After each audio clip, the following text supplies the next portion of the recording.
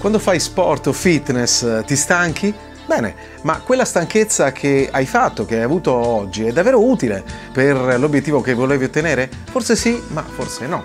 Allora in questo video, anche questo della linea bestseller tra i più visti del 2016, ti spiega cos'è la fatica e quali sono le fatiche, magari quelle utili, quelle da portarci a casa perché ci servono, per migliorare quelle invece, ahimè, troppo eccessive, quelle che non se ne andranno più dal nostro corpo e, dal nostro, e dalla nostra mente. Quindi se l'argomento ti interessa, rimani, guardi il video No Pain No Gain della linea bestseller I migliori da 2016. A dopo, ciao!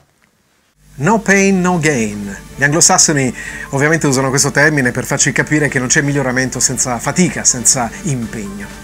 Ma la fatica esattamente cos'è? Sono quattro i passaggi importanti che dobbiamo capire. La fatica acuta, la fatica funzionale, quella non funzionale e l'overtraining. Allora vediamoli, la fatica acuta è quando ovviamente dopo un allenamento noi siamo stanchi, ma dopodiché andremo a riposare e il giorno dopo ci sentiremo eh, straordinariamente meglio. Ok, e questo è un passo importante.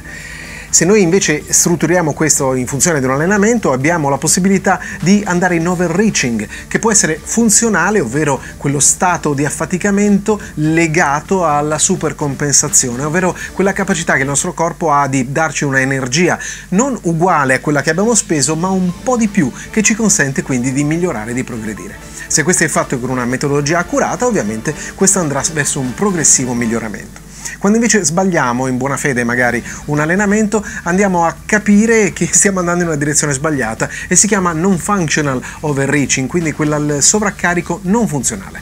Stiamo andando in una direzione sbagliata, stiamo facendo un allenamento probabilmente troppo intenso o troppo ravvicinato rispetto al precedente e quindi non abbiamo ripristinato tutte le nostre riserve, probabilmente non siamo ancora arrivati al punto giusto per fare un nuovo allenamento. Questo ci fa andare in una direzione sbagliata giorno dopo giorno. Se noi non ce ne accorgiamo e non torniamo indietro e non eh, mettiamo assolutamente eh, le correzioni al nostro allenamento, andiamo nell'overtraining. A quel momento il nostro lavoro da sport scientist o da coach, da allenatore è assolutamente finito perché l'atleta passa al medico. Questa diventa una patologia e quindi va curata perché altrimenti dall'overtraining non si esce. Attenzione perché arrivare in overtraining significa non solo fare un allenamento fatto male o decrementare i propri tempi, ma anche andare male a scuola, poter avere degli stati alterati dell'umore, quindi litigare anche con gli amici, familiari, eccetera, e questo per molto tempo. Si entra anche in depressione, non è una cosa da sottovalutare. Quindi attenzione, l'allenamento va pianificato in un modo corretto perché deve essere funzionale quell'affaticamento in modo da poter proseguire. Quindi attenzione, alleniamoci in un modo corretto e se questo video ti è piaciuto condividilo con i tuoi amici, metti mi piace, scrivi anche la tua domanda. Nel mentre ci sentiamo al prossimo. Grazie e ciao!